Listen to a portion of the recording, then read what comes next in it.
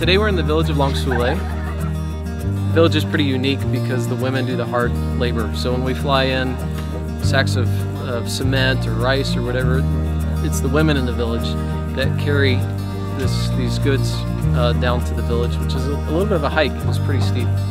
And so uh, we're going to do something very special for some of the ladies that live here.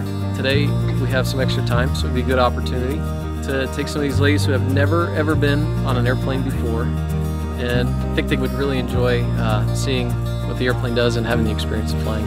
So that's what we're going to do today. okay, selamat siang para para penumpang yang sangat terhormat. And they've lived in this village their entire lives and have never left this village.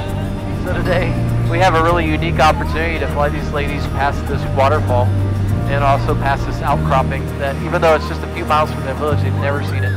And uh, it's just kind of a fun flight that we get to do today. Uh, way to say maybe thank you to them because they've helped us out too.